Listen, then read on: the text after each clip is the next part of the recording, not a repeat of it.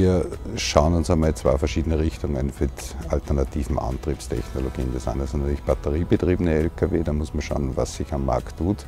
Das andere ist natürlich Wasserstofftechnologie und Wasserstoff-Lkw. Das Fahrzeug ist bei uns momentan einmal in der Schweiz von Altenrhein ausgehend in Verwendung, dort Abholungen, Zustellung zu machen, also ganz normal wie jedes andere Verteil- oder Nahverkehrsfahrzeug, das wir bei Gebrüder im Einsatz haben.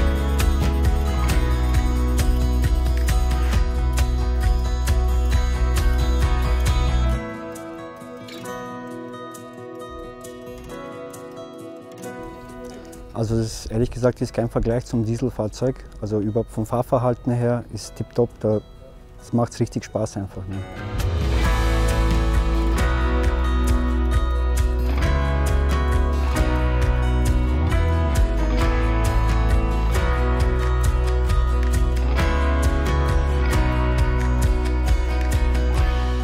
Wir sind eigentlich da voll und ganz überzeugt davon waren, dass dieses Fahrzeug eine extrem gute Alternative zum Diesel-Lkw ist.